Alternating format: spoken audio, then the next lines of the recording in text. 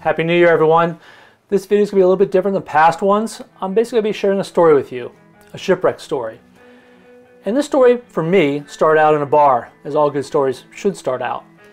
And I was talking to a commercial fisherman friend of mine who told me about this shipwreck he knew that would probably be of interest to me. So looking over some of the GoPro video that he shot, because he's a, a deep water commercial spear fisherman, it was immediately obvious to me this was a unique shipwreck. This was not a a broken down trawler, or barge. This was special.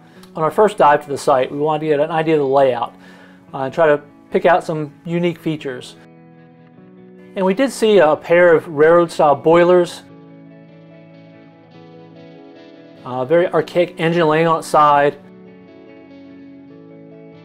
and obviously the side wheel paddle hubs.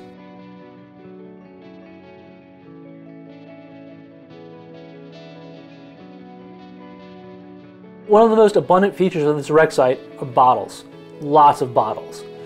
And we picked out a few to try to figure out what kind of cargo this vessel was carrying, because that would help provide a clue to the identity of this shipwreck.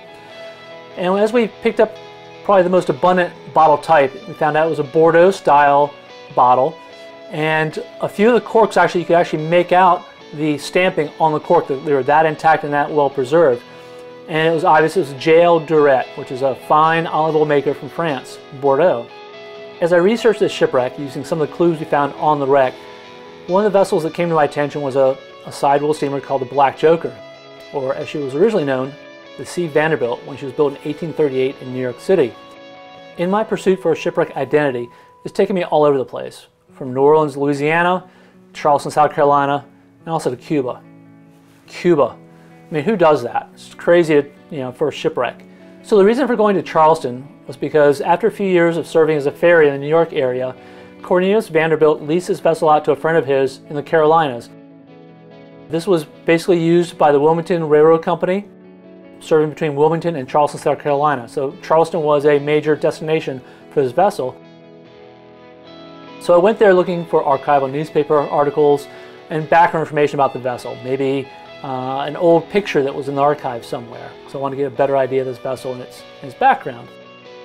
The reason for going to Havana was because after she served as a packet steamer between Wilmington and Charleston, she was sold to a New Orleans businessman.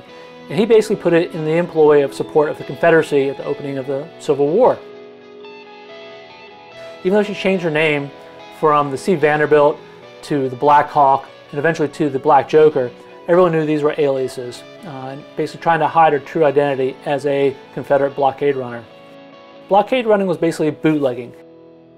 This activity was so lucrative, they could basically arrange for the construction of a new vessel and pay for the crew for an entire year from the proceeds of one trip. And after that, every single trip, all income was just gravy. It was all pure profit. That was the reason for why they would do this. It wasn't always about their alliances with the Confederacy. This, this was a business, a very good business. During the Civil War, the U.S. Navy set up blockades around southern ports in an attempt to restrict trade and choke off the Confederacy. With no true navy of its own, the Confederacy depended on a fleet of improvised vessels for defense, as well as private ships to run the blockade and bring in much needed supplies. The mechanics of blockade running were fairly simple and depended on one highly desirable commodity cotton. As such, cotton became the lifeblood of the Confederacy. Blockade runners would purchase cotton for pennies per pound in the South, sell it for astronomical profits in a foreign port, and use those proceeds to then purchase arms, ammunition, and supplies for the Confederacy. As a blockade runner, they were required to carry 50% of the cargo in support of the war effort. The other 50%, however, would consist of other scarce and highly profitable items such as liquor, coffee, and medicine. This was all contingent on a blockade runner eluding the U.S. Navy and making it into a safe southern port, but in doing so, a successful run would yield profits of 300 to 500%. After doing numerous dives on the site over the years, it became apparent to me that there's something missing. This was not the entire shipwreck. So with that premise in mind, we began exploring other sites within 15-20 miles of this wreck site. We had a couple sites we wanted to check out, and one turned out to be quite fascinating. And indeed, this had uh, more cargo, more bottles, and, and, more importantly, we found the, the remains of the rudder.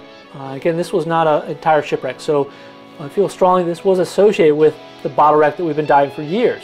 So with this other wreck site, we feel that we have a tangible clue to help identify what the main bottle wreck might be. This clearly looks like it's a portion of the main wreck, and the cargo is consistent with what we found on the primary site. All these bottles, they date the same time. And we did find some very compelling evidence to help date and identify this shipwreck. But I'm going to share that with you at a later time in a second video. I hope you'll check in. So again, going to remind you to please uh, subscribe, like this video, and share it with your friends. And we'll get some more videos out to you in the very near future. Thanks a lot.